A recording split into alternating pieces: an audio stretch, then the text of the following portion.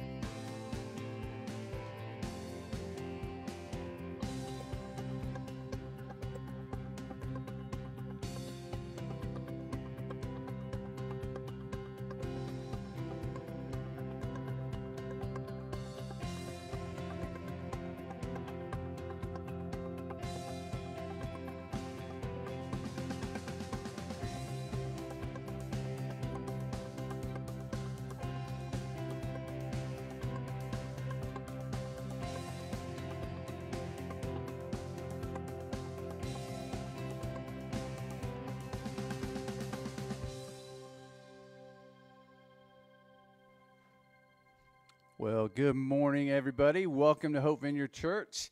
Great to see you here in person, online. We welcome you. Say hello in the comments below. Uh, introduce yourself. Uh, welcome other people if you're online. If you're in person, feel free to get online as well on the Facebook feed and interact with people as we gather together. Um, my name is Jim Wood. My wife Dee Dee and I are the pastors here at Hope Vineyard Church, and, and it's a joy to be able to gather today. Um, we needed boats to get here today with all the rain that we're getting, but uh, that's okay. That's okay. We're, we're good, and I hope you're good right where you are. I'm wearing my Bears jersey today because they play the Super Bowl champs later, and I think they probably need every bit of help that they can get. So hopefully, hopefully this is what puts them over the edge today, right? They beat the Buccaneers. We'll see. I doubt it, but we'll see. Um, hey, if you have never liked us on Facebook or if you don't follow us on Instagram, if you haven't subscribed to us on YouTube, then what you doing? Get that stuff done. Try and get it figured out. Um, and you can do that. It's a great. It's the best way, really, to stay connected and uh, to be able to share uh, your your um, participation in the church with all those those forms of social media. We're just glad that you're doing it. Um, I think that's it for today. Uh, I'm going to welcome Dee Dee up here. She's going to be sharing a bit today. So as she comes up, um, encourage her and uh, you know give her a little clap emoji if you're online or if you're in person here. Just go ahead and clap as she comes up. There we go. All right. See you. Thank you. Up here. Thanks. Good morning, everybody. well, I've been pressing in to um, becoming more loving. Now I know that you hear that a lot, and um, and so you've heard it quite a bit in the messages that I've been given. But it's because of a, real great desire to really figure out what love is and how to love well. Um, I've also been trying to experiment and experience the energy and, and how being loving transforms my like how I feel inside. So whether I mean some people think it might sound new agey to talk about energy. I I don't. I think it it sounds kind of sciency. But um that said, I know that when I am expressing love, I feel more positive and like I have more energy. And when I am experiencing and expressing um like anger or hate or shame or um, despondency, there's a sense of negative energy. And so I'm really just paying attention to how my energy or how I'm experience energy during love and how um, others experience me during love. I know I was talking about. Um, I, I was talking, I was describing the energy that a friend of mine has because she's very positive and that I have to sometimes like watch how I'm um, expressing myself because I don't want to get in the habit of, of being complainy, you know, like if I'm just venting or something, um, because if I take it too far, then I start taking from that energy. And so it's just, I've just been mindful about like how, how the experience of love and being at peace um, really does it affect the atmosphere around or like within me and, and around me and um, how it can impact others. So I've actually been asking God to show me more about more about this. And so I think today's message is actually coming in answer to that those questions I'm asking God about how to love more and like the impact it has, um, what I need to understand or embrace about love in order to to move forward in this.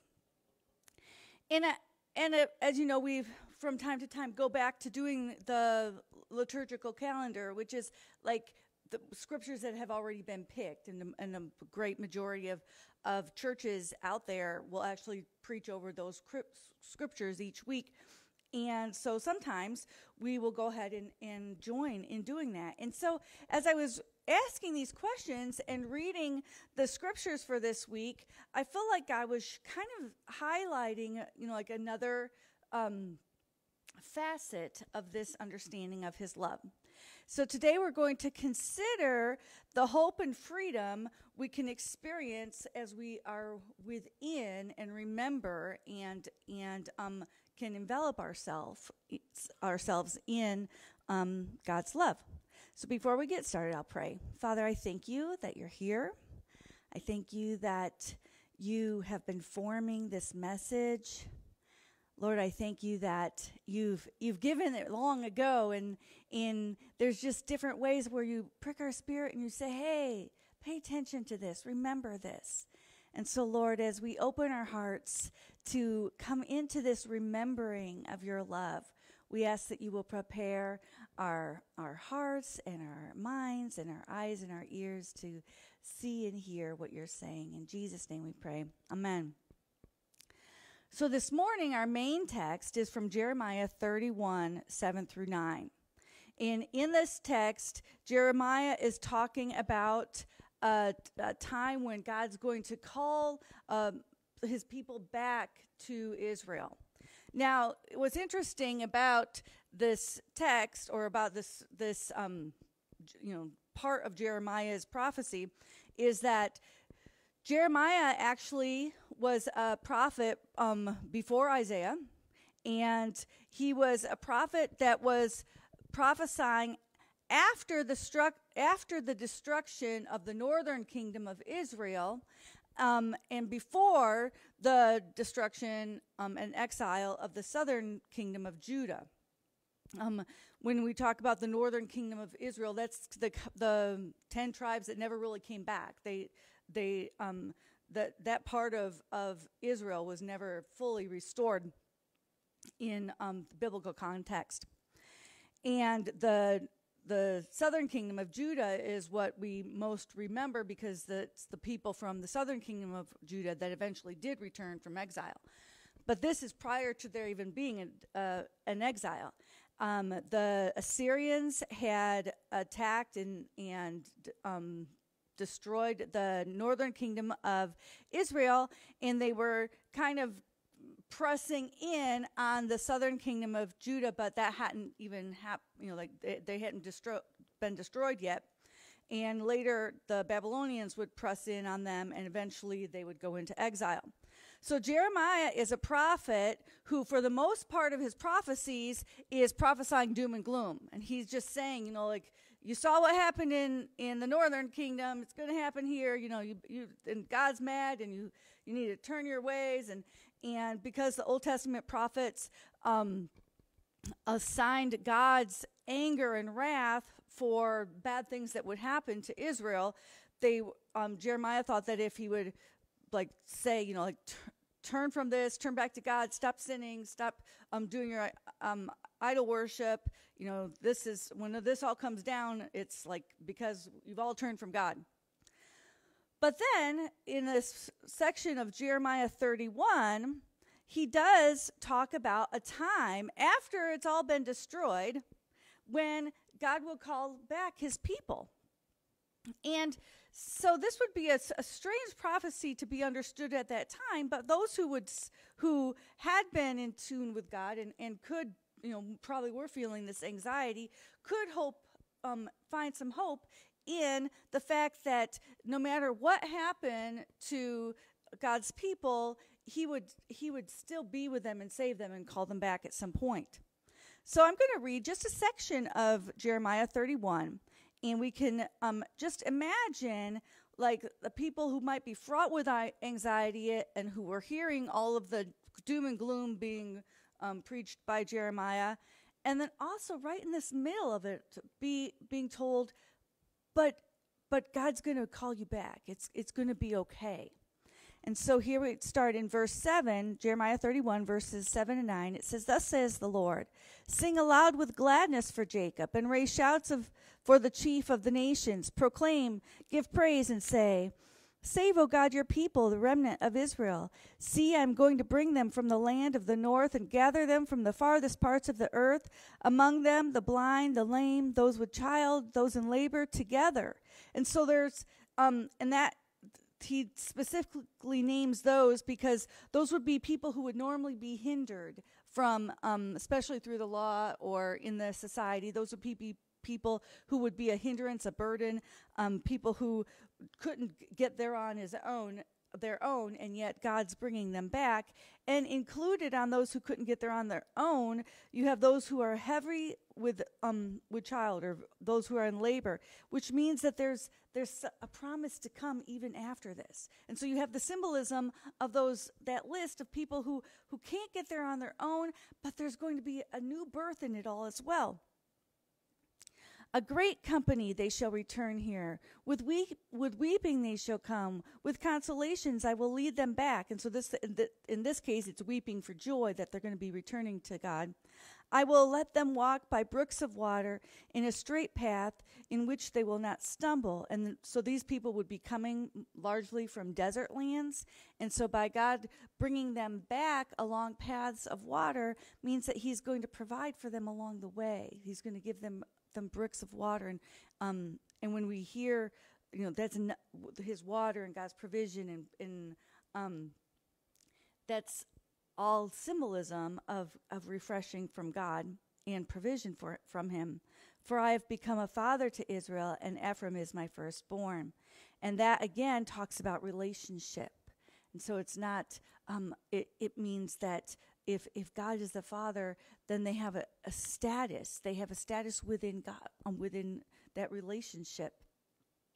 And so it's a promise of this restored relationship and and bringing them back. So God knows where they were. He didn't leave them then, and He's bringing them back. And it's a promise to the people. And toward the end of um, chapter 31, or this, or this section about talking about this new time, he, um, starting in verses verse 31 through 34, it says, The day is coming, says the Lord, when I will make a new covenant with the people of Israel and Judah. This covenant will not be like the one I made with their ancestors when I took them by the hand and brought them out of the land of Egypt. They broke that covenant, though I love them as a husband loves his wife, says the Lord. But this is the new covenant I will make with the people of Israel after those days, says the Lord. I will put my instructions deep within them, and I will write them on their hearts. I will be their God, and they will be my people, and they will not need to teach their neighbors, nor will they need to teach their relatives, saying, You should know the Lord. For everyone, from the least to the greatest, will know me already, says the Lord. For I will forgive their wickedness, and I will never again remember their sins. And so in Jeremiah was actually the first part of the um, section of the Bible or the book of the Bible where they um, started talking about this new covenant. And Isaiah, a couple hundred years later, will pick that up, and he has great poetry, and will really talk about this this day of the Lord and this time when um, you know, like God brings people back. And and there's both an idea of a, a political, you know, we'll get to be in charge then, and a sense of, of utopia. Um, in in Isaiah, it talks about the lion laying down with the lamb, and there's this this um, peace and utopia. And yet, the New Testament writers um, understood, like, we're looking back on the Old Testament, and God was highlighting things that they thought were pointing to the answer being in Jesus. And in Mark, um, Mark quotes Jesus as saying um, this. Says Mark 10, 46 to 50. Nope, in Mark uh, 14, 24 it says this is the blood of my covenant which is poured out for many he said he said to them. And so mark's um, and several of the other new testament writers are talking about this covenant that is made in jesus. So i'm going to stop right here and, and let's look at the images that we're, we've already talked about. We've, lo- we've talked about this this old testament image of god um, bringing his people back into relationship with himself and leading them along that way and, and that the joy and the gladness that would come along with this. And then we're considering that this is a time that's been fulfilled in Jesus. And, and we can, we can use language like kingdom language, the kingdom has come, um, new covenant has been made. And we know that that's marked by, by love and Jesus' messages about loving one another and loving each um, ourselves and loving God. And so we we can hold on to those things.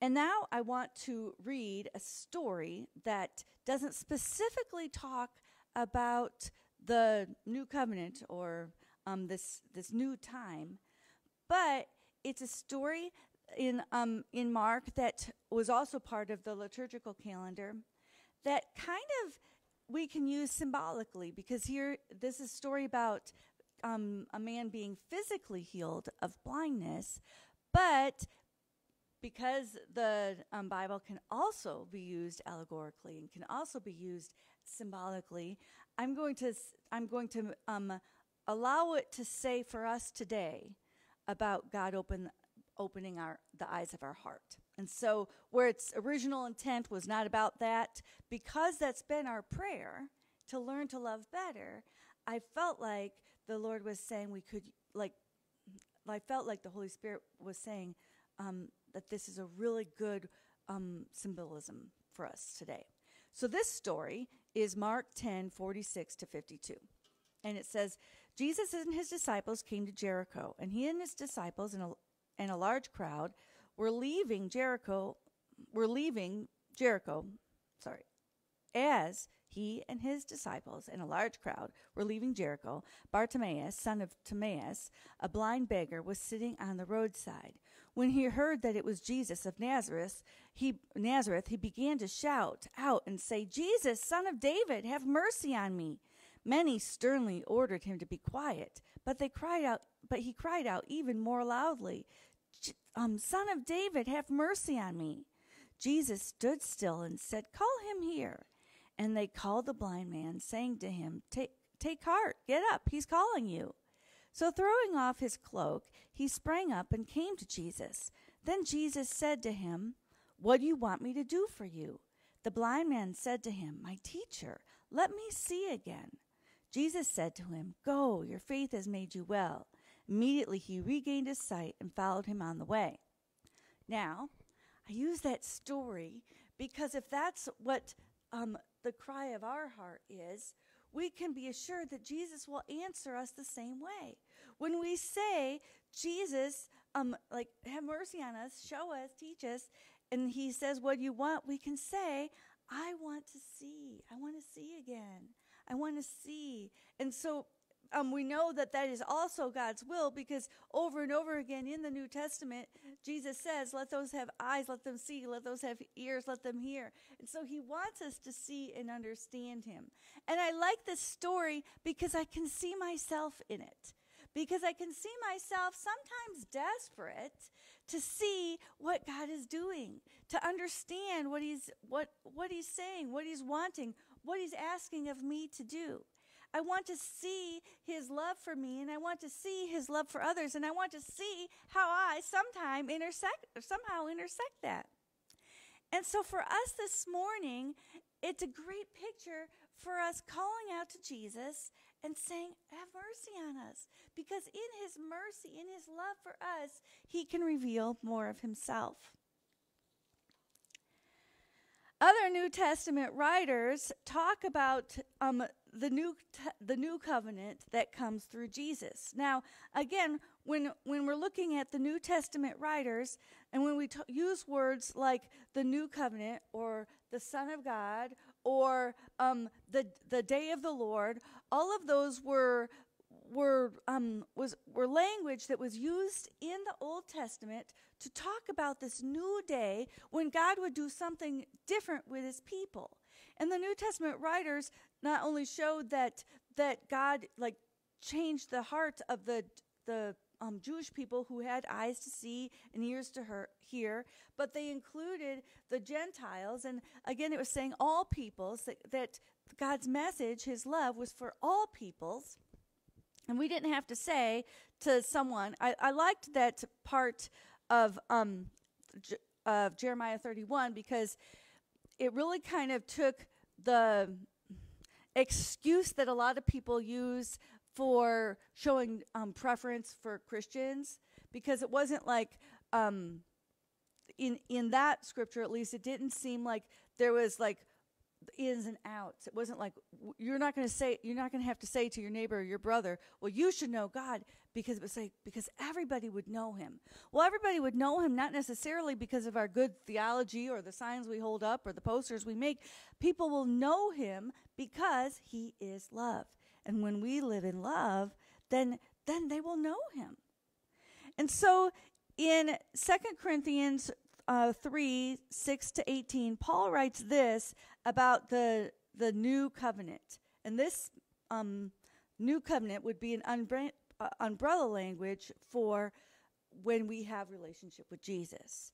So we could say, who, um, it starts mid sentence, but says, who has made us competent to be ministers of a new covenant. So we can we can use that language, new covenant, and think um, to be ministers of the love of Jesus, the kind of love that Jesus shows, right? So we can be competent ministers of the kind of love that Jesus shows. Not by the letter, but of the Spirit. For the letter kills, but the Spirit gives life. And he's talking about the letter of the law, the rules, you must do this, you must do that. But the Spirit gives life, which is love, like when we're walking in love, right? Um, now, if the ministry of death, chiseled in letters on a stone tablets, came in glory, so the people of Israel could not gaze at Moses' face because of the glory of his face, a glory now set aside, how much more will the ministry of the Spirit come in glory?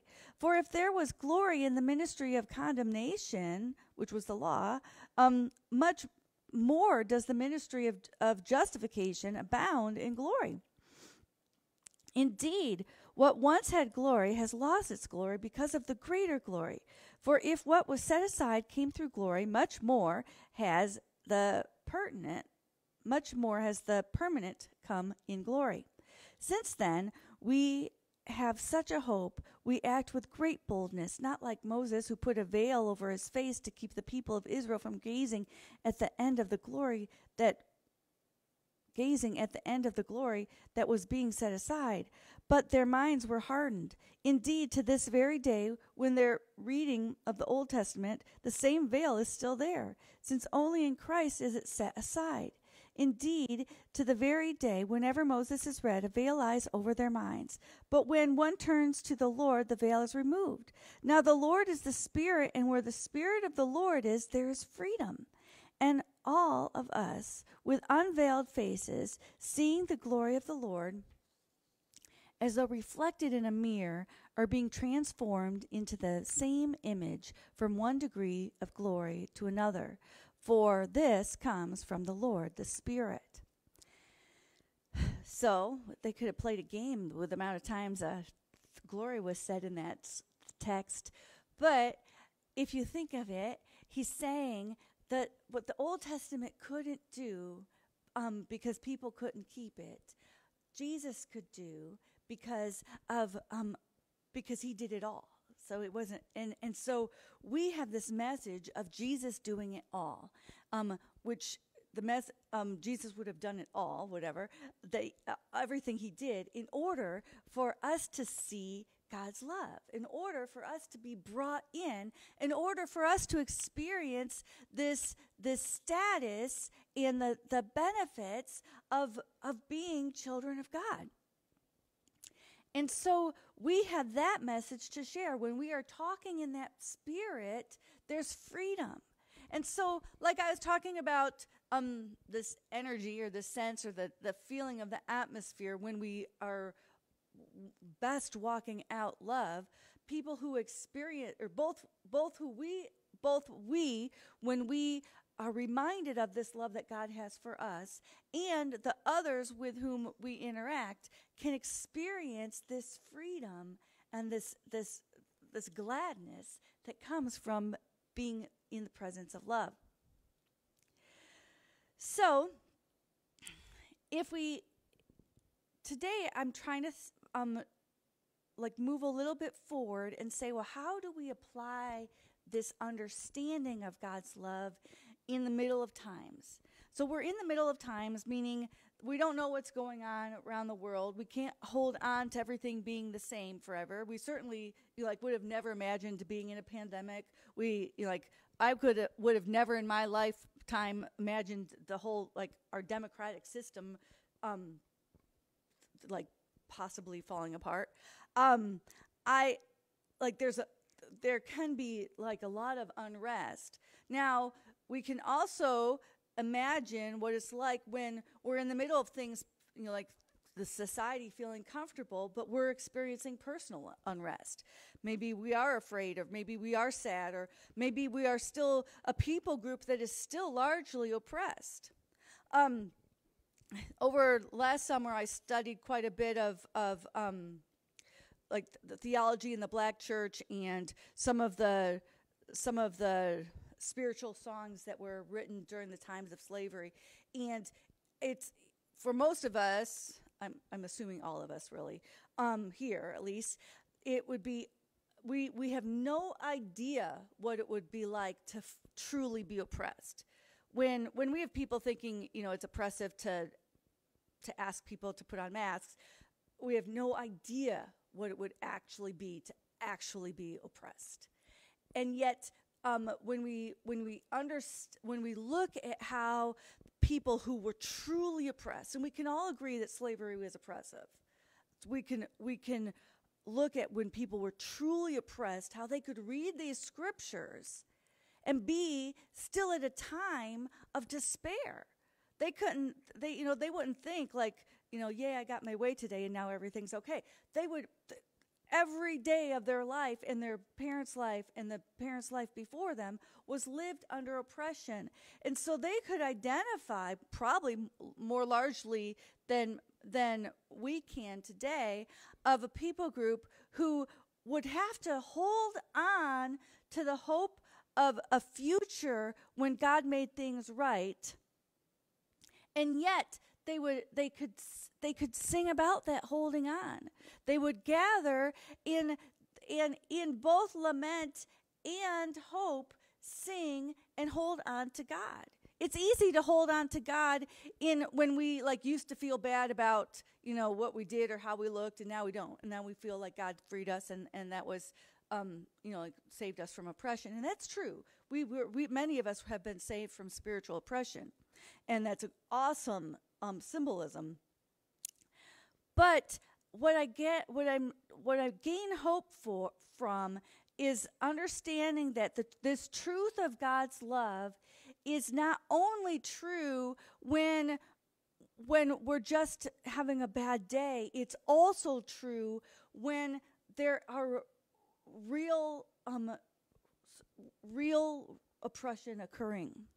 And should we ever face that again, we can look to the past and say, but, but people were able to hold on, and I'm going to be able to hold on too. And when I do struggle in my own spiritual oppression of grief and um, anger or frustration or not seeing the kingdom come when, the way I want to, I can actually look into people um, groups who have struggled far worse than I have and said, But God, you are the God of hope for them. And so you can be the God of hope for me. Um, I've also in the past have read about missionaries or martyrs, and it is so interesting to see the pressing that comes from the world um, that presses us into God and the fruit of love that comes out of that pressing into God. Um, I don't have time right now to go into like the love people had for their enemies or any of that, but it was very interesting just to see that that God does you know, like the stories of how God doesn't abandon people in the midst of struggle. So, how do we apply this understanding to our own lives right now today? Well, um, corporately, we're becoming a church that reveals God's love. And that's different than a church that reveals God's laws, right? We're becoming a church that reveals what love looks like in the form of embrace and acceptance and inclusion and and seeing what people um you introducing people to love so that love can do a work within them um we are also like I feel like we're we're pregnant with this um what's what happens because of that. like as God leads us back into this love, we are like those in labor, and there's something that's coming that's being birthed out of the freedom that that love brings. And I don't know what it is. And um but I'm excited for it. We also are a people who can hope for the return of gladness, but also know that with the new coming of the new covenant, gladness lives inside of us. And so we can have our own personal struggles and, uh, and experience the struggles within society, and yet we can we can hold on to the spirit of love that lives in us that can give that can remind us of the love that's always been there. Now, I've talked time and again about um, having a heart and a, and a desire to minister to those who have experienced ritual abuse or organized group abuse, and, and this is an extreme type of abuse. And so I'm when I'm not learning about theology or history or, or politics or psychology, I'm also reading um, stories of survivors. And I came across this week about a, um, a story from a survivor who was um, I didn't write her name. Her name was Elisa E. I think, and um, and and she had she has had and contribute and continues to have abuse that that none of us could ever imagine. And what she attributes to, to her daily ability to go on is her um, calling on what she calls benevolent, unconditional, creative love. Now, she doesn't call herself a Christian because that was a type of a belief system that was used against her in a in a what it's like a twist of a belief system that is that makes um, normal expressions of religion very negative. But because we know that God is love and um, and I know in her story she's she's experiencing the kind of love that God loves. I know that when she's um, talking about love, I can I can know it's the same love that I'm talking about when I talk about God's love. And here's what she does when she is like every day because every day she's experiencing struggle. And and this is a language that she uses in remembering to call on and enter um, this love. And because we do believe that this love for us comes from Jesus, I want to read it because it was so profound to me that I think I don't want to, I'm not changing the way she sees it, but I'm using um, her view of love to, for me to see it differently. And she says this she says what prayer is for her. And she says, um, that every day she does this. She just says, benevolent, unconditional, creative love infuses us from within, surrounding us in benevolent love, benevolent light, and benevolent safety, day and night, indoors and out, resting and awake, preventing malevolence, which is the evil of the world, which we also experience um, in various degrees, from accessing me in any way, known or unknown to us, in body, mind, soul, or spirit, now and ever again. I exist in benevolent love from this moment forward. And so, and she describes this love as is not having judgment and has and um that is full of acceptance and that it's a remembering of who she is and in within this love. And if I um, apply those kind of thoughts to the kind of love that we look at when we are included as part of God's family, when He has led us along the way this whole time, when this new covenant has been made with, with um, for, because of Jesus that says we are all His children, and I am accepted and loved um, and assured by Him because the Holy Spirit in me, then I can um, call on that when I am asking God to show me other things. Now I've I've begun to pray since I just read this this week, but I've been just um, even in this week I've I've been able to apply this kind of love. Like um, like I look at it, you know, like I, I study policy and I pay attention to what's going on in, in policy and politics. And the reason I care about politics, which I really didn't used to before, but the reason I ca- care about politics is because politics has to do with policies, and policies have to do with the way people are treated. And so I'm not going to talk a whole lot about that. But when I when I look at um, when I look at the policies that I am for or against, I'm able to weigh that with how people are treated. And if Jesus was one of those people who was being treated one way or the other, then would would would I be okay with those policies? Um, I also, and that's easy for me, like social justice, that's easy for me. What's a little bit more difficult for me is treating others like they deserve love. And this, I've been, you know, it's, it's, we, we can do it in like broad sc- scope. It says like if somebody comes into the church, don't give them the, like, don't give them the worst seats, give them the best seats. I can do that.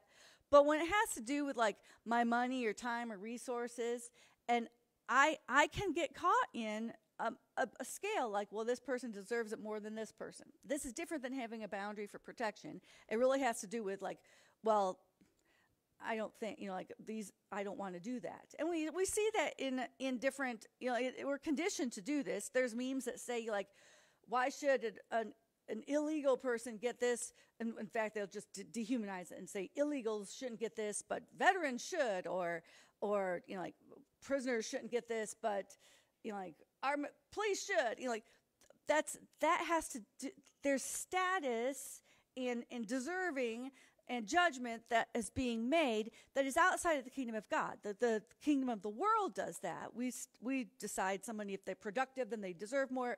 If they might be, like, it was, it's propaganda. Even in the 80s, when people started be calling, um, called welfare queens, that was propaganda to dehumanize people and, and, and, and make us believe, well, some people deserve things and some people don't deserve things. And, and for me, um, I will, I can do that. I can think, well, no, I'm just not going to love in the way I should because of that. And this week, I have had to really um, challenge that and say, I am not loving like Jesus with this unconditional, benevolent, creative love if I determine I'm going to, you know, like, give you the consequence for your actions. Um, and and that's different than boundary setting. It has to do with with resources that God gives us that are to be given to others. Um, and then there's the th- idea of, of love and love energy and praying for myself and others. And this yesterday I had an experience. I, I struggle with anxiety anyway, and something didn't go my way. And and I would typically just lump it up with other things that didn't go my way and think, well, no, this always happens. This isn't fair. This isn't right. You're like, something's against me, whatever. And and I was able to say, but I am loved. And I just like like like stopped those thoughts of how wrong it was that this was going on or, or you know like what should have been happening and able to really um, rest in but i am loved and I read this whole person's story in, in two books the, the one who talked about the benevolent, unconditional, creative love. What she has going in her life is way worse than me not getting my way in some, you know, like right away in some circumstance yesterday. And I'm thinking, if that brings comfort to her, then how come I can't come into this love and just rest? And I did. I was able to really not go where my mind normally goes. And I also know that when I, have started praying um, love for others, because I know that there's a thing that says that that um, there's a cord that binds us in Christian love, and and I know that somehow we're connected when we love like Jesus toward others. And so, as much as I want to pray my way for others and that everything, you know, God will do everything I want in their life, I've started just saying, God, send your love there. Send your love. And if, it, if there is energy, if there is a difference in the atmosphere um, around me when I pray, then I'm asking for there to be a difference of of atmosphere around them when they pray, and that more more of God's will and God's kingdom can come in their circumstance because I have changed that atmosphere. So, even in the middle, even before rescue, even in the face of disaster, for us it is God who reminds us of his love. And I'm just going to read Jeremiah 31, 7 through 9 again, and allow him to take us and lead us and, and to the place where we remember just how loved we are. Sing aloud with gladness, O Jacob, and raise shouts for the chief of nations. Proclaim and give praise and say, Save, O God, your people, the remnant of Israel. See, I am going to bring them from the land of the north and gather them from the farthest parts of the earth, among them among them the blind and the lame, those with child and those in labor together. A great company they shall return here. With weeping they shall come, and with consolations I will lead them back. I will let them walk by brooks of water in a straight path in which they shall not stumble. For I have become a father to Israel, and Ephraim his, is my firstborn. I see us as individuals and as a church, and really as the world, scooped up in love. And I hope that, that you can go with that today and demonstrate it in those you meet this week. Father, thank you for um, your words and your hope and your goodness, and that we can truly hold on to you no matter what we face, and that we can truly offer that love to others because you have put it in us. And where the Spirit of the Lord is, there's freedom. In Jesus' name I pray. Amen. Amen.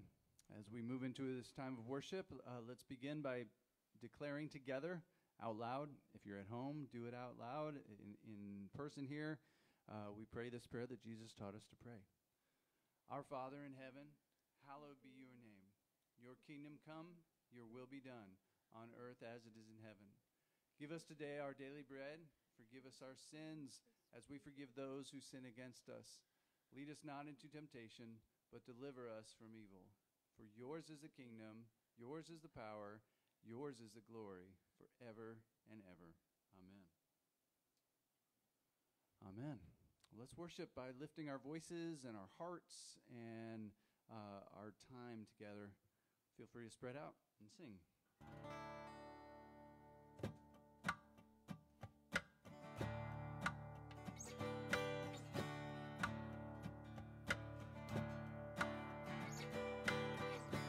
Here I'm standing with the rain on my face, finding here such unusual grace.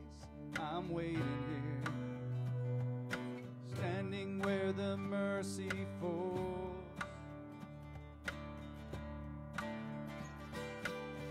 I once was blind, but now I can see. My ears are open, finding faith to believe. I'm waiting here, standing where the mercy falls.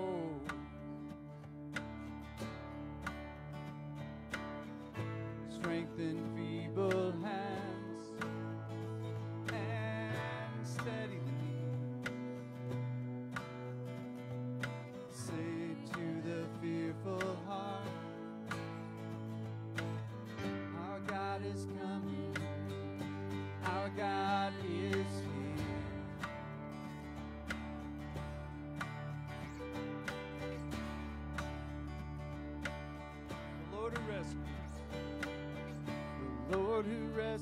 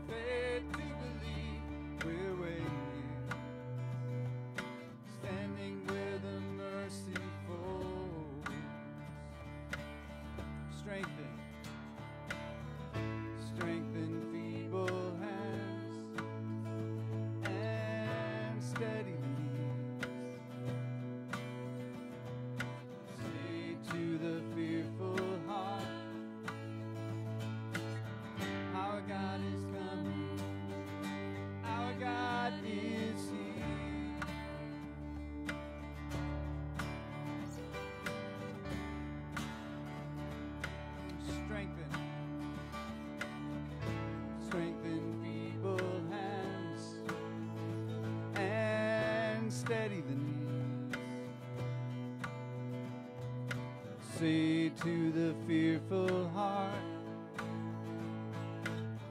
Our God is coming, our God is here.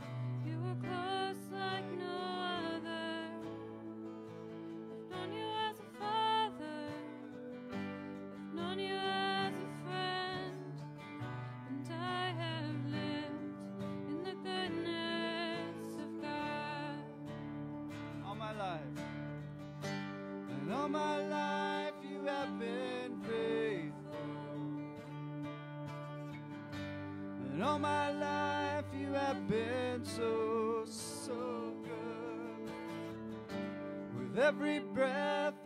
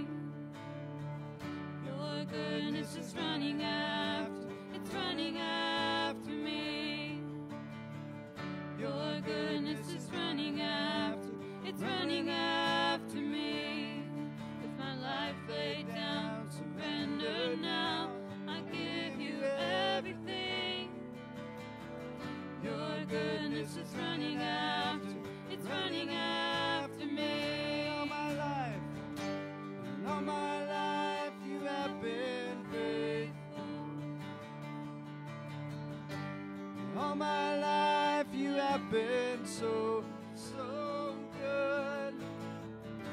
With every breath that I am able, I will sing the goodness of God all my life. And all my life you have been faithful. All my life you have been so, so good. With every breath that I am able, I will sing the goodness of God. I will sing, yes, I will sing of the goodness.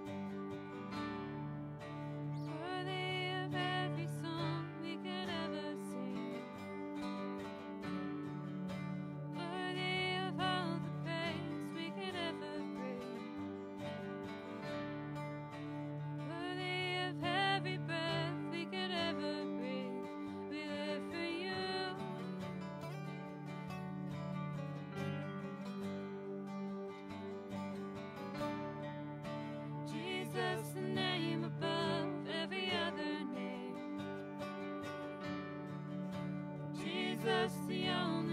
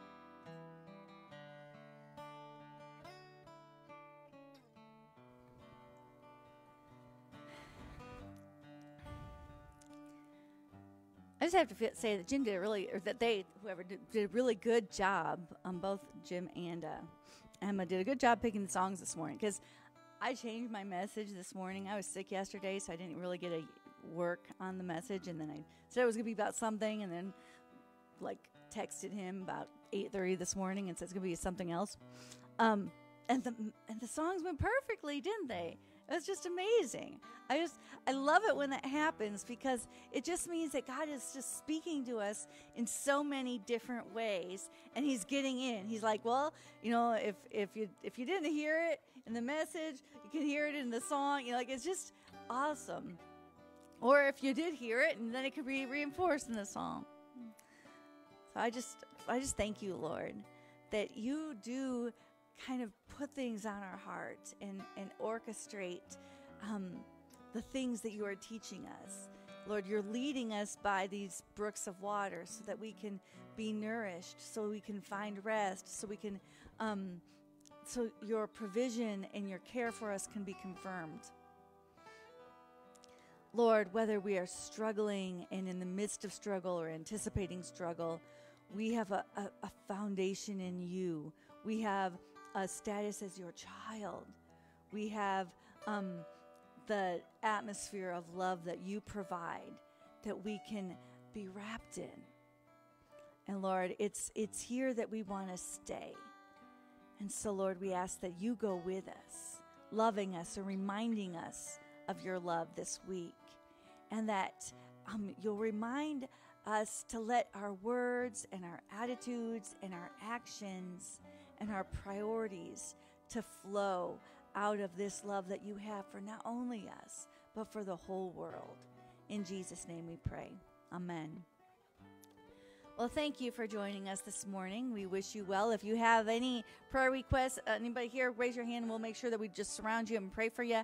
If you're up, uh, if you're online, you can either put them in the comments or message us directly, and we'll make sure that we pray for you and that we um, your prayer gets on the caring prayer letter um, that we send out. And if you want to be part of that, send your email, and we'll we'll uh, include you in the email. Thank you for joining us, and we'll see you next week.